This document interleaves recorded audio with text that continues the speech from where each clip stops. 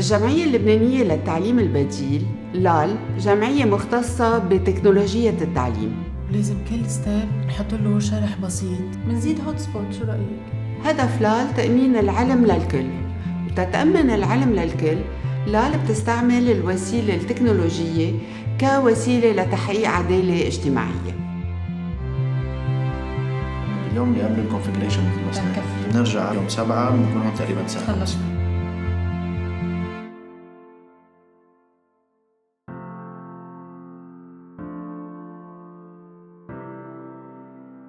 بلشت قصة لال بمبادرة تنساعد أولاد بالمستشفى يكفوا علمهم.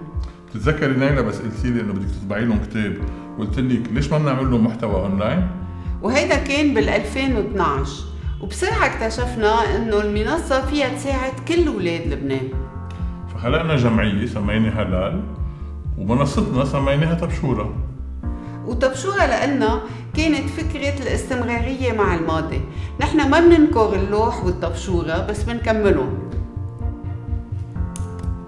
نريمان بتحسي فينا نستعمل هيك شيء ل elementary classes؟ لا لأنه في text كبير. بركي بنسجله audio؟ إيه أحسن. إيه صح أوكي. لالة بتستند على ثلاث ركائز الركيزة الأولى ابتكار منصات إلكترونية تنساعد التلاميذ ونساند الأساتذة.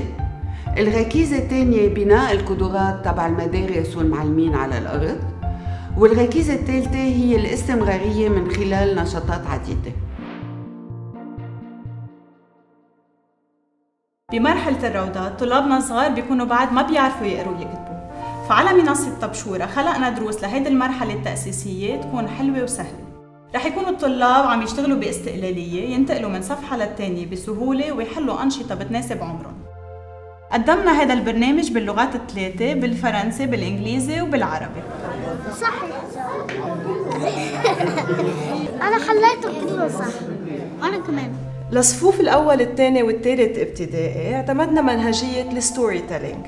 لكل صف خلقنا مجموعة شخصيات مختلفة لبسناهم تياب مهضومة وجهزناهم تيرافقوا الطالب بمسيرته التعليمية.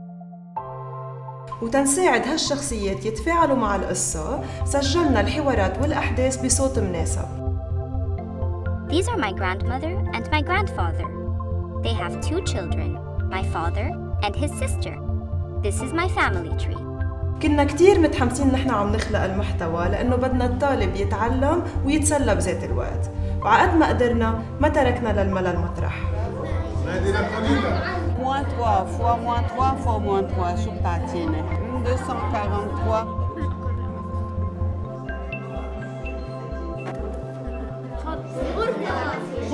لما التلميذ بيوصل على المرحلة المتوسطة المنهجية بتتغير. بتصير مبنية على منهجية الاكتشاف. يعني المعلومة ما بتعود تنعطى بطريقة مباشرة للتلميذ. هو بيكتشفها من خلال سلسلة نشاطات تفاعلية مرتكزة على مهارات القرن الواحد وعشرين يعني ال critical thinking وال creativity وال problem solving وعملية التعلم مسهلة بال feedback وال retry button يعني التلميذ وقت اللي بيعطي جواب بيجي feedback تيفكر ليش الجواب صح أو جواب غلط. وال retry button بيسمح له يعيد المحاولة لحد ما يلاقي الجواب الصحيح. لأنه منصة طبشورة هي منصة تعلم مش منصة تقييم. أوكي. هلا بدنا نفوت على هيدي الصفحة. بدنا نكبس هون على course category بننقي cycle 1 وخذوا الدرس الأول اسمه عائلة سارة. بما يتعلق بالتعلم عن بعد أو ال e-learning مشاكل لبنان معروفة. هن الإنترنت والكهرباء. ومشان هيك ابتكرنا حلول جديدة. أول واحد منهم هو ال box يلي هو كناية عن server صغير بيسمح للتلميذ والأستاذ يستعملوا مواد طبشورة بلا إنترنت وبلا كهرباء. والحل الثاني هو طبشورة mobile app اللي هو تطبيق مجاني موجود بال Play Store أو بال Apple Store وبيسمح بتنزيل مواد طبشورة واستعمالها بطريقة offline عم بيكتشف لحاله شو اللي بيعرفه وشو اللي ما بيعرفه؟ وهي بتقلك إذا صح أو غلط وبتصلح لك الغلط. بصير انه الولد يتحمس لهذا الشيء. إنه على ليله منيحة شوي يعني بدل ما نقعد على التيك توك وعلى اليوتيوب. الجواب اللي قدم بال 2020 قامت لال بمشروع جديد. بما أنه الأساتذة كانوا عايزين حدا يساعدهم تا يعلموا اونلاين تا يكتسبوا منهجية التعليم اونلاين قامت لال بابتكار منصة جديدة للمدرس. بالعصر الحالي ومع تطور التكنولوجيا والأساليب التربوية المبتكرة تبين أنه التعليم المدمج بحيث أنه الطالب يقدر يتعلم مع المدرس وبذات الوقت على الكمبيوتر لوحده هو أفضل استراتيجية تربوية. ليش؟ لأنه بتحل مشاكل لوجستية وتعلمية كثيره بس كيف يقدروا المدرسين يطبقوا التعليم المدمج من دون دعم؟ للمدرس منصة ومبادرة تم تطويرها من قبل معلمين لمعلمين. هي عبارة عن مكتبة موسعة فيها موارد تعليمية استراتيجيات تربوية بذات الوقت خطط دروس تفاعلية. للمدرس انعملت تتساعد المدرسين على الانتقال للتعليم المدمج بشكل سهل. أجري تعريف كل شخصية وأضعه إلى جانب الاسم المناسب.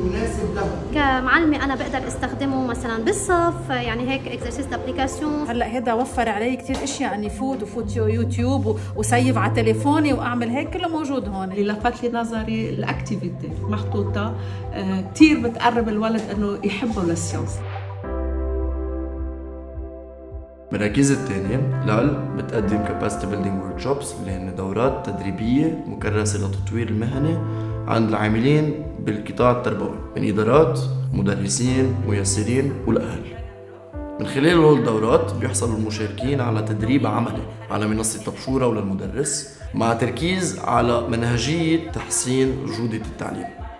بنمرن كمان عمال المكننة ال ITs على تقنيات التعليم الإلكتروني وال offline solutions اللي هن حلول ما بتتطلب انترنت وقتها برجع على محل تاني في انترنت بمحي برجع بحط بنزل ال chapitre على تليفوني إذا أنا لحالي والإنترنت منيح. بالوقت اللي بيكون فيه الفريق على الأرض نحن بقسم ال monitoring and evaluation بنرافقهم وبنراقب كيف عم تطبق البرامج.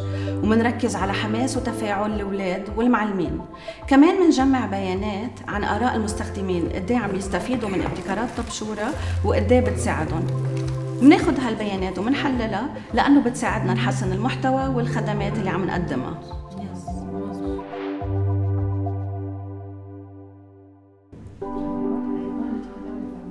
كيف هون؟ عم عليها كثير كبرت لال وصارت عم بتلبي حاجات تربوية أكثر منهج بثلاث لغات منصة للأساتذة بناء قدرات وبحث وتطوير. وتضل المستديمة تواصلنا مع جمعية الفنار. الفنار جمعية ساعدت لال تتحسن مهاراتها الإدارية وتسعى لاستقلالية مالية.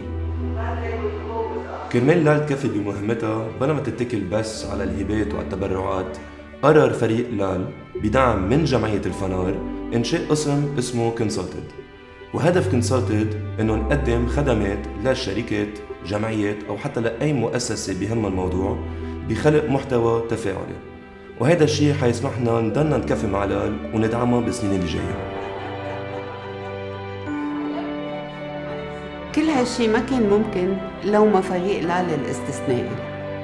أعضاء فريق لال من كل لبنان وبيمثلوا التعايش بأرقى مفاهيمه. نشتغل سوا منواجه صعوبات سوا منلاقي حلول سوا ومنتطور سوا.